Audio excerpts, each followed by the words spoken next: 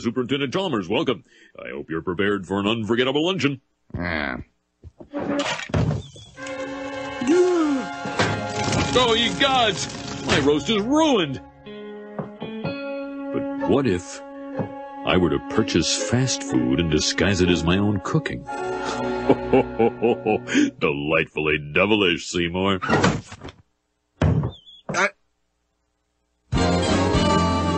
Skinner with his crazy explanations. The superintendent's gonna need his medication. When he hears Skinner's lame exaggerations, there'll be trouble in town tonight. Seymour! Superintendent, I was just, uh, stretching my calves on the windowsill. Isometric exercise. Care to join me? Why is there smoke coming out of your oven, Seymour? Uh, oh, that isn't smoke. It's steam. Steam from the steamed clams we're having. Mmm, steamed clams.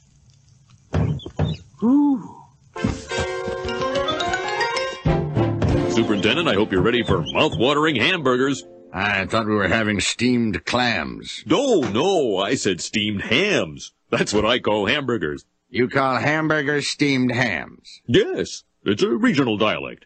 Uh-huh. Uh, what region? Uh, upstate New York? Really? Well, I'm from Utica, and I've never heard anyone use the phrase steamed hams. Oh, not in Utica. No, it's an Albany expression. I see. You know, these hamburgers are quite similar to the ones they have at Krusty Burger. Oh, no. Patented Skinner Burgers. Old family recipe. For steamed hams. Yes. Yes, and you call them steamed hams despite the fact they are obviously grilled. Uh, You know, the, one thing I should... Excuse me for one second. Of course. Oh, that was wonderful. Good time was had by all. I'm pooped. Yes, I should be. Good Lord, what is happening in there? Aurora Borealis? Uh, Aurora Borealis. At this time of year, at this time of day, in this part of the country, localized entirely within your kitchen. Yes. That's it?